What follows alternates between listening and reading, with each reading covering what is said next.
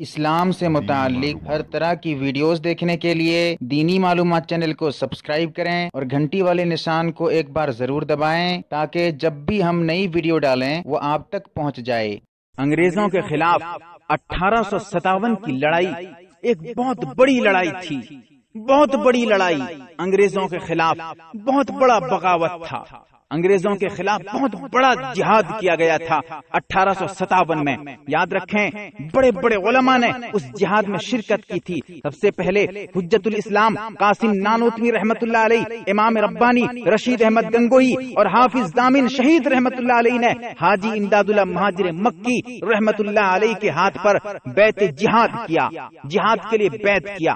مسلمانوں میں جہاد کے لیے بیت کیا کہ ہم آج سے آج سے انگریز کے خلاف جہاد کریں گے۔ اور فتوا دے دیا گیا۔ اعلان کر دیا گیا۔ مسلمانوں پر انگریزوں کے خلاف جہاد کرنا فرض عین ہو گیا ہے۔ فرض عین کا فتوا لگا دیا گیا۔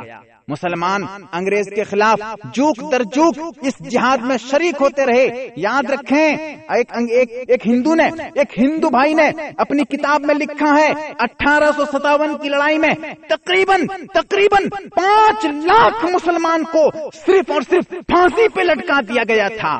اتنی بڑی قربانیاں۔ مسلمانوں کی اتنی بڑی قربانیاں کہ کمو بیس یہ کسی مسلمان کی بات نہیں، ایک ہندو بھائی نے اپنی کتاب میں لکھا کہ کم سے کم پانچ لاکھ مسلمانوں کو، پانچ لاکھ مسلمانوں کو صرف اور صرف پھانسی پہ لٹکایا گیا تھا۔ اس کے علاوہ کس کسی کسی کو کسی دوسرے طریقے سے مارا جاتا تھا۔ پھانسی پہ لٹکانے کا طریقہ بھی عجیب غریب ہوتا تھا۔ کتابوں پہ آتا ہے کہ مسلمان کو پکڑ کر اور اس کو درخت کے قریب لے کے جاتا تھا۔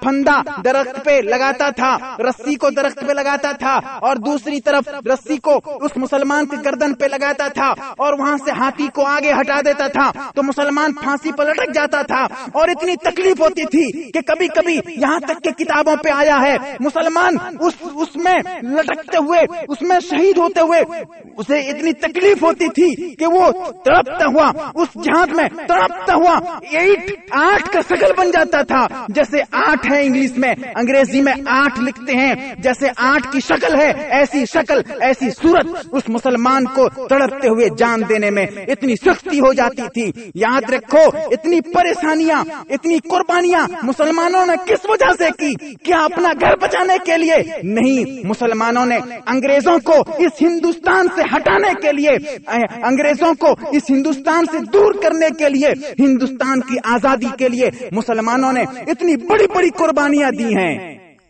اور مسلمانوں کو قتل کرنے میں ان ان انگریزوں نے کوئی کسر چھوڑی نہیں ہے۔ کوئی کسر۔ یہاں تک کہ شہر کے ہر ہر چوراہے پہ پھانسی کے لیے وہاں پر سولیاں لے کے لگا دی گئی تھی کہ مسلمانوں کو پکڑو اور فوراً شہید کر دیا کرو۔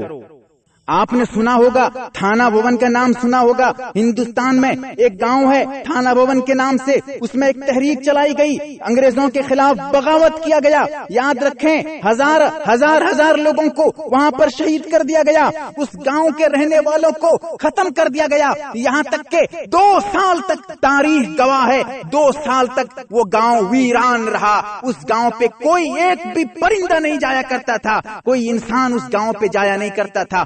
دو سال تک وہ گاؤں جو ہے غیر آباد رہا۔ وہاں پر جو ہے اتنی سختیاں کی گئی وہاں پر ایسے قتل و غارت کیا گیا۔ کتابوں پہ آتا ہے کہ یاد رکھو مسلمانوں، کان کھول کر سنو۔ مسلمانوں نے کتنی بڑی بڑی قربانیاں دی ہیں۔ کتابوں پہ آتا ہے کہ وہاں پر جب دو سال کے بعد ملکہ وکٹوریا آتی ہے اور اعلان، عام اعلان، معافی کا عام اعلان کر دیتی ہے۔ جب اس کے بعد وہاں پر جا کے مسلمان پہنچتے ہیں، اس گاؤں کو جاتے ہیں۔ جب وہاں پہنچتے ہیں، دیکھتے ہیں کہ ایک سو چوبیس چوبیس مجاہدین کی لاشیں ایک سو چوبیس مجاہدین کی لاشیں درختوں پہ لٹک رہی ہے۔ اور دو سال کے بعد ابھی بھی ابھی بھی ان کے جسم پہ جو ہے صرف گوشت سوکھ گیا ہے۔ لیکن کسی پرندے نے ان کے گوشت کو کھایا نہیں ہے، ان کا گوشت سڑا نہیں ہے، ان کا گوشت گلا نہیں ہے۔ لوگ حیران رہتے ہیں کہ ایک سو چوبیس مجاہدین کی لاشیں ابھی بھی باقی ہے دو سو سال کے بعد مسلمانوں کی قربانیاں ہندوستان کے لیے بہت بڑی بڑی قربانیاں ہیں۔ ایک انگریز اپنی کتاب میں لکھتا ہے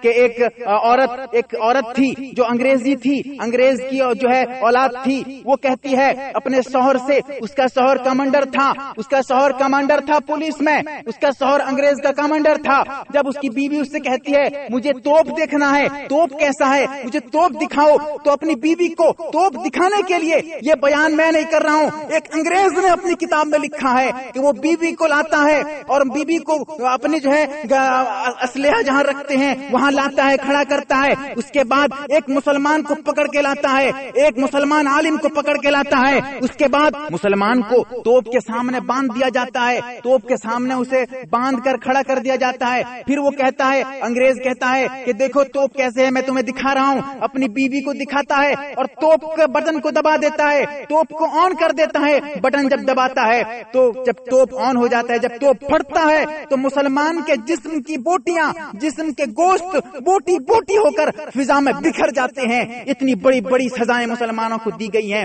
صرف اس ہندوستان کو آزاد کرنے کے لیے مسلمانوں نے اپنی جان قربان کر دی ہے۔ لیکن انگریزوں کے خلاف بغاوت چھوڑا نہیں ہے۔ انگریزوں کے خلاف جہاد چھوڑا نہیں ہے۔ انگریزوں کو اس ہندوستان سے ہٹانے کے لیے اتنی بڑی بڑی قربانیاں یہاں تک کہ سب سے بڑی چیز اپنی جان نچھاور کر دی ہے۔ یوٹیوب پر چلایا جانے والا دینی تربیتی و اصلاحی چینل۔ آپ اس دینی معلومات چینل کو سبسکرائب کریں۔ گھنٹی والے نشان کو ایک بار ضرور دبائیں۔ اگر آپ مسئلہ مسائل پوچھنا چاہیں تو کمنٹ میں ضرور پوچھیں۔ اس کا جواب مستقل ویڈیو بنا کر دیا جائے گا۔ اس کے علاوہ اس چینل میں علماء اکرام کے بیانات حمدونات خوابوں کی تعبیریں، اکابر کے مجرب وظائف اور اسلام سے متعلق ہر طرح کی ویڈیوز پا سکتے ہیں۔